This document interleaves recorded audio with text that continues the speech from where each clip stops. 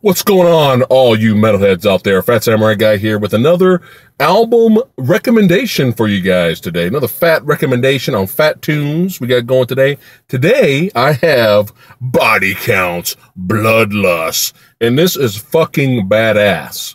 I've always been a fan of Body Count, and it seemed like they haven't done a lot in about seven years, and then they came back fucking hard with Manslaughter. If you guys haven't heard Manslaughter, check Manslaughter out. It's fucking awesome. Uh, but yeah, they came back with Manslaughter, and now they've come out with Bloodlust, which came out this year, and it's, it's fucking hard, man. It's it's it's Ice T.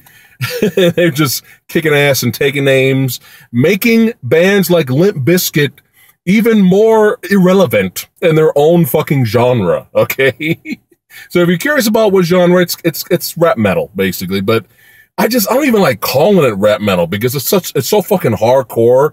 I don't even like calling it that. I don't even like labeling it that. But if that's your thing, you got uh basically if you never heard of body count before, uh you got the impending doom of Black Sabbath mixed with, you know, the, the punk aspect of suicidal tendencies mixed with the precision and the timing of Slayer. Just the just the that's how Ice-T describes the group. That was their motivations when he made put the group together way back in the day. So that kind of gives you an idea uh, of how they sound, basically. And you got Ice T, you know, hardcore gangster rapper from back in the day. He was this really good lyricist, and uh, he's just great on here. So, Body Count Bloodlust is fucking badass, and I highly recommend.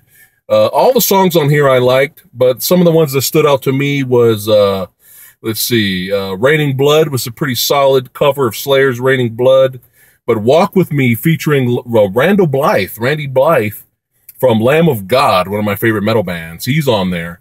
Walk With Me, I really like. No Lives Matter, Bloodlust, Black Hoodie, all great songs. There's even a uh, guest uh, appearance by Max Cavalera, one of my favorite metal uh, musicians from Soulfly and Sepultura. And he's on the All Love Is Lost track. So, yeah, good shit on here. Highly recommend Body Count, Bloodlust. And uh, what I'm going to do is I always say try before you buy. So I'm going to put the link to the full album in the description box below so you guys can check it out. Check it out, see if it if you dig it. But I definitely dig it. I kind of like Manslaughter a little bit better than this, but this is still fucking badass and worth buying if you're a fan of this particular genre. So let me know if you guys listened to this album already. Let me know what you thought about it in the comments below. And I always will take uh, recommendations, man. If you guys you know, let me know in the comments below what bands and albums I should be checking out. And I will do a video on it maybe. but yeah, I'm really digging this. Body Count Bloodlust. So keep on banging, guys. I'll talk to you guys later. Peace.